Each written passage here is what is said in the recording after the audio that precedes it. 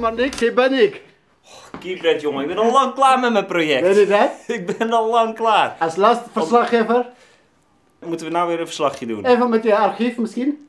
Over eh, hoe het allemaal was Hoe het allemaal liep. Ja, Is goed, omdat jij het bent, Kiebret. dankjewel.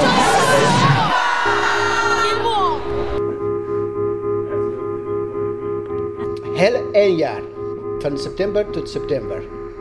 Ja, van 1 september 2016 tot 1 september 2017 ben ik eh, ja, mijn straat, de Javastraat hier in Amsterdam-Oost, echt letterlijk niet uit geweest. Ja.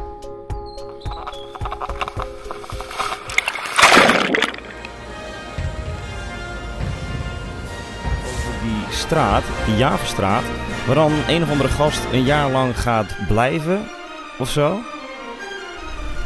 Sorry meneer. Weet u toevallig hoe laat het is? Ja, het was eigenlijk om erachter te komen, ik was heel erg nieuwsgierig naar wat gebeurt er als je alleen maar om kan gaan met de mensen in je directe omgeving, de mensen die hier wonen en werken en die je normaal tegenkomt op de stoep, maar eigenlijk nooit gedag zegt. Oké, top. Mag je, dat, mag je dat even hierop laten zien? 365 dagen, 23 uur, 59 minuten, 59 seconden. Start. En je kwam op 1 september ver van Amsterdam uit het water en je ging terug naar het water. Wat was het logisch voor jou? Ja, dat was een beetje symbolisch, zeg maar. Ja, voordat ik een jaar de straat niet uitkwam, dacht ik van... Wat wil ik dan nog doen voordat ik een jaar lang tegen dezelfde straatsteen aan ga kijken? Nou, ik dacht naar de zee. De zee is voor mij altijd heel belangrijk. Dus ik dacht, ik neem gewoon een duik in de zee. Dan ga ik een jaar mijn straat niet uit. En als dat jaar weer klaar is, dan ga ik weer meteen de zee in duiken.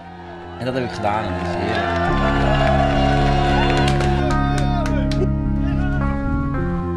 Jaar wonen in Javastraat. Wat betekent dat voor jou? Nou, het was echt fantastisch uiteindelijk. Ik heb echt superveel mensen leren kennen.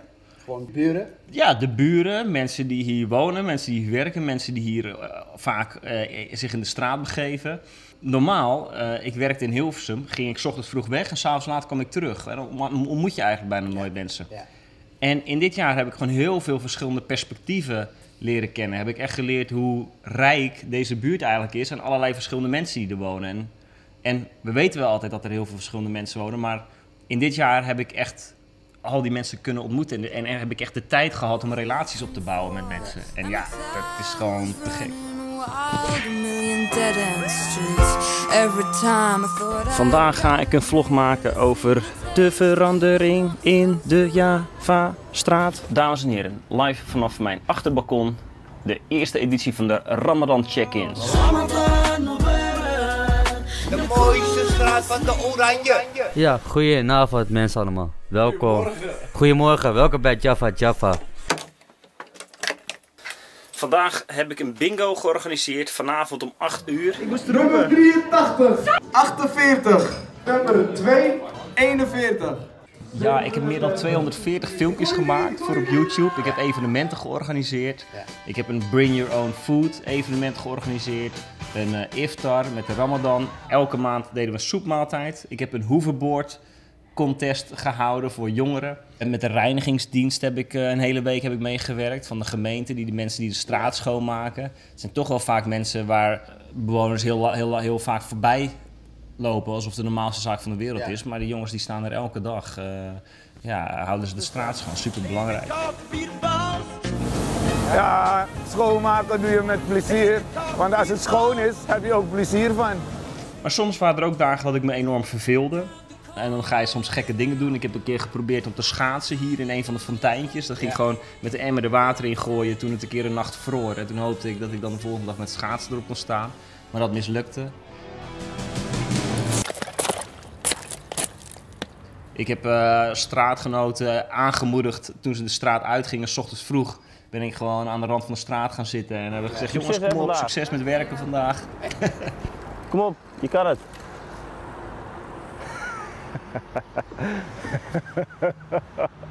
Ja, ik weet het ook allemaal niet meer, man, wat ik helemaal heb gedaan. Ik even En in de. Javastraat bij de ondernemers, je hebt ook een uh, Ja, inderdaad, ik heb ook meegewerkt. Ja. bakkerij. ja, er zijn natuurlijk ontzettend veel... Nee, ik heb geen brood gebakken. Dat wou ik nog doen, maar dat was er niet meer van gekomen. Er zijn ook nog zoveel... Zeg maar, op een gegeven moment, in het begin, kende ik helemaal niemand. Dus ik was echt blij met iedere interactie. Iedere persoon die ik leerde kennen was voor mij echt een grote victory. Ja. Zo van, yes, ik heb weer een nieuw iemand leren kennen. Maar halverwege het project werd het steeds bekender en mensen begonnen erover te praten. En op een gegeven moment kwam er gewoon een punt dat ik het echt te druk kreeg. Dat ik echt gewoon bepaalde ideeën of afspraken gewoon moest afzeggen. Omdat ik gewoon ja, te veel had lopen tegelijkertijd. En ik ook nog aan mijn vriendinnen en alles moest denken. Dus daarom heb ik niet alles kunnen doen. Dus dat vond ik wel jammer. Maar ik heb, ja, ik heb eh, dunner gesneden en ik heb eh, soep gemaakt. En ik heb in een kledingwinkel gewerkt. En eh. Ja, Wow, moet je kijken, wat een prachtige straat. Gruwelijk. La Jaffa Jaffa. Geen vuiltje aan de lucht. Als ik jou de vraag even, noem even je buren, links, rechts, boven en beneden, snel 10. Oeh, dat is een goeie. Kevin, Dave, meneer Lutki, Marit en Rijma die zijn verhuisd. Daar wonen dan Erik. Naast mij weet ik eerlijk gezegd niet, omdat dat de hele tijd verandert. Maar ja, dan heb je daar eh, Caroline wonen. Tegenover me heb je Jilles. Eh, en zijn vrouw, weet ik even de naam niet van. Eentje maar. Zit, zit ik er al tien? Nog Eentje één? Ja. Ja, Marco. Vriend Marco. Marco. Ja. Ja, ik zal eens even bedenken wat leuk is nog eh, te doen hè, voor je. Hoe is het als ik één jaar lang niet mijn straat uitkom? De mooiste straat van de Oranje. Hoe was het eten en drinken?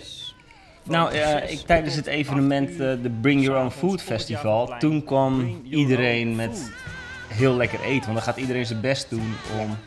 Nee, want het enige wat ik had geregeld was gewoon tafels en stoelen. En dan had ik gewoon aan alle buurtgenoten gevraagd van... Hey, kom langs en neem zelf je eten mee. En dan ja, leer je gewoon heel veel verschillend eten kennen. Maar er is ook bijvoorbeeld een buurtmaaltijd hier bij mij in, die, in de Jaapstad bij de kerk. Dus elke maandag voor 5 euro eten. En dan maken ze ook altijd de meest lekkere dingen. Maar ik heb ook gewoon vaak gewoon met mijn vriendin eh, zelf gegeten. Mijn vriendin die kookt ook heel lekker. Zo, Hey, je ziet het Arabisch geschreven daar of niet? Daarboven. die ballonnen. Ja. Eh, dit project heb ik kunnen doen vanwege crowdfunding. Dus er waren echt iets van 100 mensen die mij... Hebben mensen wel geld ingestopt? Ja, gewoon vrienden, kennissen, familie en op een gegeven moment ook buurtgenoten die gewoon een tof project vonden. Die, Je eh, geen baan. Nee, ik heb gewoon echt alles opgezegd. Ik heb ontslag genomen. Dus, ehm, dus met elkaar hebben ze elke maand een bepaald bedrag bij elkaar gelegd, waardoor ik uit de vaste kosten kwam. Maar ik leefde eigenlijk best wel goedkoop, ja. Want je kan een keer bij mensen gaan eten, mensen komen een keer bij mij eten. En Maar je hebt nog geen reiskost gehad. ook geen reiskosten, nee, dat is ook heel duur. Het is een heel goedkoop jaar geweest. Ik heb ook helemaal geen kleding gekocht. Maar ook wel weer heel rijk en heel duur. Met alle prachtige relaties eh, die je hebt leren kennen. Ja, En ja. nieuwe perspectieven die eh, ik heb leren kennen. Maar je leert ook wel de mindere kant van de straat. Het is niet alleen maar eh lekker, lekker. Mag niet mopperen. Mo, ik ben een filmpje aan het maken over de verandering in de straat. En dan kunnen we niet, natuurlijk niet even langs jou. Ja? Kijk, ik zit hier nu een jaar en loop ik hier echt elke dag rond. Nou, toen ik, Ik- hier kwam ik- ik wonen, toen het, schrok ik eigenlijk van de mate waarin de straat veranderde. En dat is zeg maar dat de, de prijzen gingen echt enorm omhoog. De straat werd weer hot. En er kwamen dan nieuwe ondernemers. Dus je ziet dan dat oude ondernemers verdwijnen. Want een, doelgroep verdwijnt ook. Omdat ja, eh, veel bewoners, die moeten toch dan... Veel oude bewoners met lagere inkomens... die kunnen het op een gegeven moment niet betalen... en die verdwijnen een beetje uit de buurt, richting buiten de A10. Waardoor ook veel zaakjes het steeds moeilijker krijgen. En er komen dan ook gewoon nieuwe hippe winkels... voor hippe mensen, middenklasse... Thee van 3 euro. Thee van 3 euro, een biertje voor 4,50. En dat is ergens positief, maar ergens denk ik ook dat het een bepaalde angst is van ja, maar waar houdt dit op? En hoe goed is dit eigenlijk voor de bewoners die hier altijd al eh, leefden? Dus daar was ik wel een beetje bang voor van ja, dadelijk komen hier eh, H&M-ketens of komen hier Ja. hartstikke grote winkelketens en dan gaat heel het karakter van deze straat eh, kapot. Ja. Maar nu, halverwege, heb ik toch wel een beetje gezien dat de straat zich toch wel eh redt. Wat is het nut wat je allemaal gedaan hebt? Ik ben er echt door veranderd. Dat klinkt misschien een beetje eh, cheesy, maar het heeft mij gewoon veranderd met de dingen die ik heb geleerd op professioneel vlak. Op gewoon heel veel filmpjes maken, heel veel verhalen te vertellen.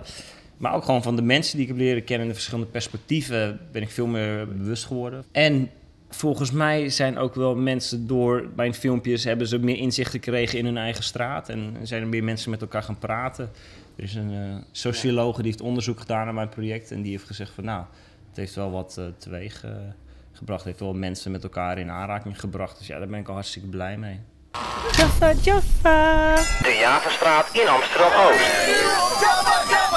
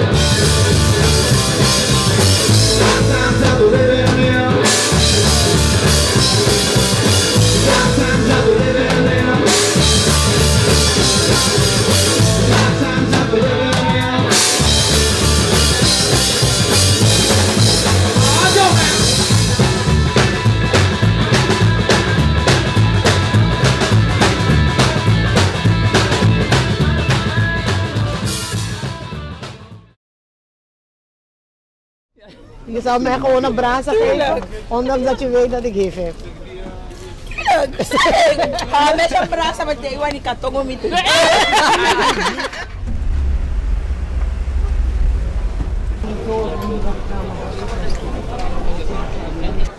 Ik ben Janice, 42 jaar. Ik leef al 17 jaar met HIV.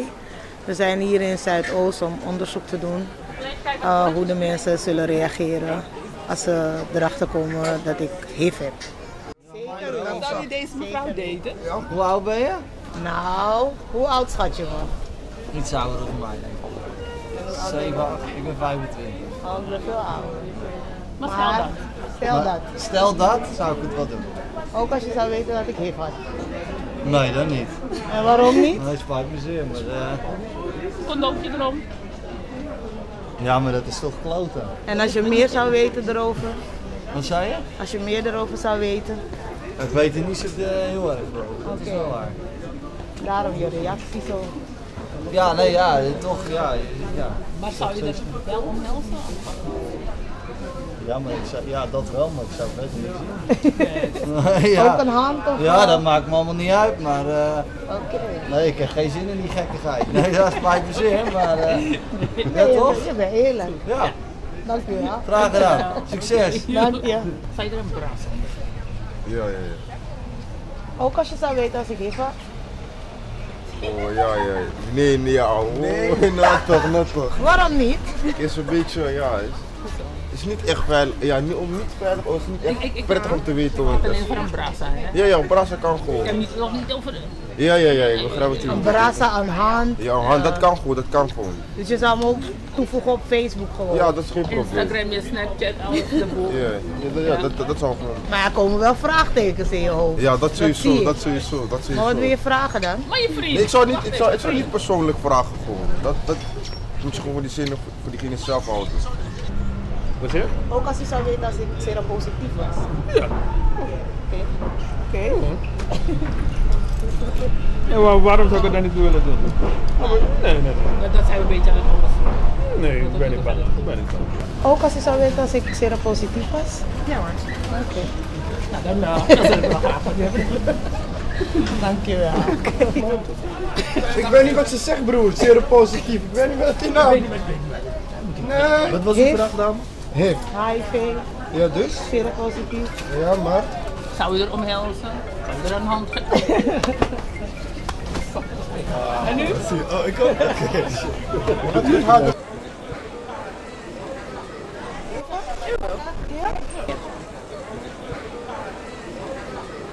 Uh, ik wilde wel een omhelzing.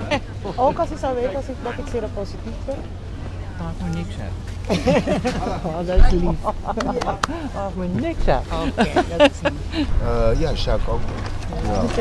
Ik heb zelf eh, een meisje gehad die, eh, die dat had. Oké. Daar heb ik zelf een relatie mee gehad. Dus dit, is, eh, dit zijn voor mij niet heel veel... eh, Ervaringsdeskundige. ja, ik weet dat er eh, bepaalde medicijnen en eh, eh, eh, anti, eh, anti eh, stoffen voor zijn. Dus eh, dat het allemaal is uitgevonden. Oké. Zou ik met uw zoon mogen daten? Als u wist dat ik HIV had. als ik wist dat je... HIV had, mocht ik dan met uw zoon delen? Ik zou hem verbieden. Waarom? Waarom? Omdat, eh, kijk, je gaat niet zomaar met iemand vrij. Als ik weet dat er een vraag Stel die vraag persoonlijk aan mij. Stel dat jij... Stel dat ik iemand zou kennen, hè, die heeft. Ik zou niet met hem eh, daten. Maar ik heb HIV. Dus u zou mij niet, eh, u zou, uw zoon komt met mij thuis en hij zegt, mama ik heb een eh, nieuwe vriendin, maar ze heeft HIV. We gaan er heel goed mee om. Wat zou u zeggen? Ja, kijk, ik zou, ik zou, als ik heel eerlijk ben, Heel zo heb ik mijn kinderen echt opgevoed. Ik zou mijn kinderen wel, ik zou wel met mijn zoon praten. Ik zou met hem rond de tafel gaan. Zou zeggen, jongen, ik hou van je, maar je geluk bepaal je zelf, kan ik niet voor je bepalen. En als, je, jij denkt dat je daarmee gelukkig bent, hè, dat je daarmee gelukkig bent, hè, en dat je leven mee kan delen, nou, mijn zegen heb je dan. Maar ik zou u niet wakker houden. Het zou me niet wakker houden, nee, maar ik zou eerst een goed gesprek met mijn zoon. Ja, dat zou ik zeker doen. Maar u moet ook een heel goed gesprek met uw zoon dan voeren. Dat er vrouwen op, eh, op straat lopen die niet, die niet zo eerlijk zijn als ik. Dat klopt, maar dat doe ik sowieso al. Zo, de dag zit erop. Eh, ik ben achter veel gekomen. Nou, er zijn veel eh, mensen hier in Zuidoost die best wel veel weten. En er zijn ook wat minder leuke reacties geweest. Maar ja, daar leven we natuurlijk eenmaal mee. Eh, mensen die in een wetendheid leven, die hebben hun eigen conclusie over mensen met HIV. Maar ja, om het recht te trekken hebben we dat ook eh, weer uitgelegd aan ze. Uh, ik ben ook, uh, waardoor wij de onderzoek hier hebben gedaan, is omdat ik een stichting op heb gezet. En dat heet Together We Live. En dat gaat zo heten in Suriname en ook hier. En dat is om uh, mensen te ondersteunen in Suriname die verstoten zijn door, door hun familie. Omdat ze HIV-positief zijn of AIDS hebben. En die niet uh, langer in het huis mogen leven met familie die vinden dat zij gezond zijn. En daar ga ik dus een huis voor bouwen. Daten met deze vrouw? Wil je mij daten met deze vrouw? Dat doe ik meteen. maar zou u het ook doen als u wist dat ik seropositief ben? Tuurlijk. Okay. Ja hoor. En u zou hem ook gewoon een hand geven en een knuffel? Oh, tuurlijk. Oké. Kom maar door. Dank u wel, meneer. Ja jongens, tot ziens. Dag. Nou, we kunnen weg.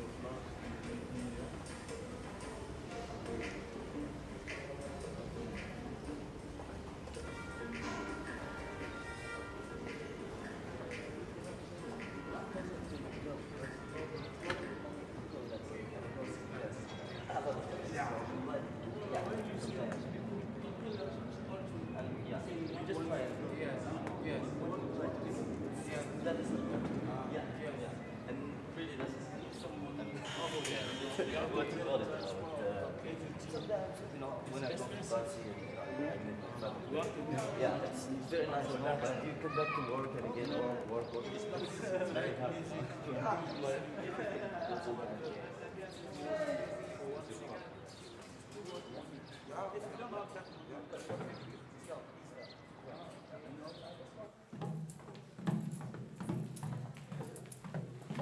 Goedemiddag, Samba.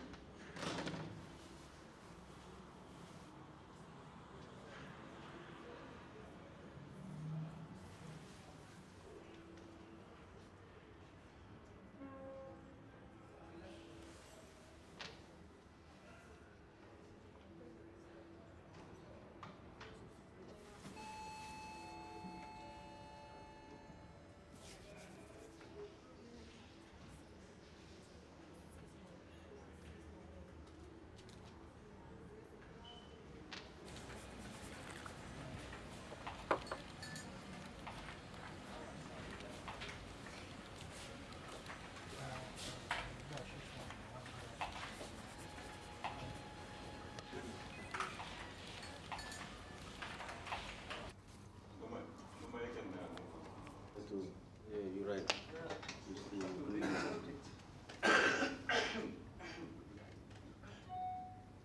This place is free and now we can build a lot of flats and now we can use it.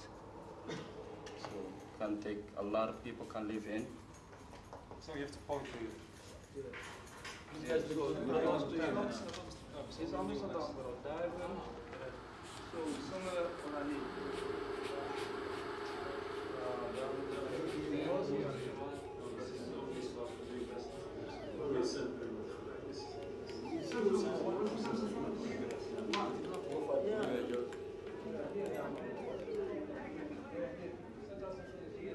We took a look about the building, which door we're gonna take, are there cameras, are there?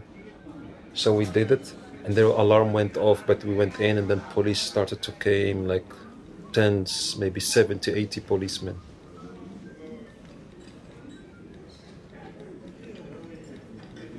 The neighborhood, people upstairs here, they didn't like it. Sometimes they'd come in the night and make pictures like of dirty place or uh, to see for fire, you know, not smoke in this area, and there was still alarm system. They were not so happy when they heard about this place.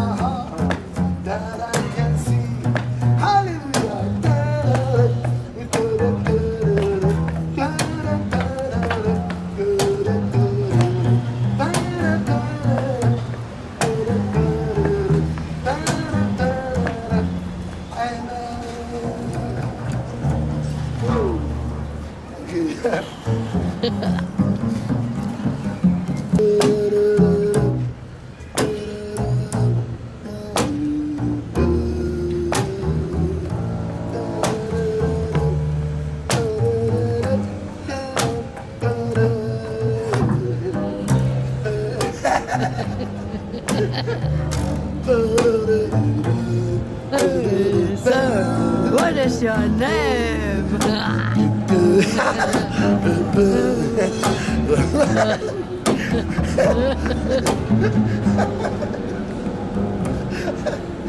he doesn't Sorry. want to tell. What's your name? Elias. Elias. Elias Contrabass. Elias. Elias Contrabass. uh, thank you very much.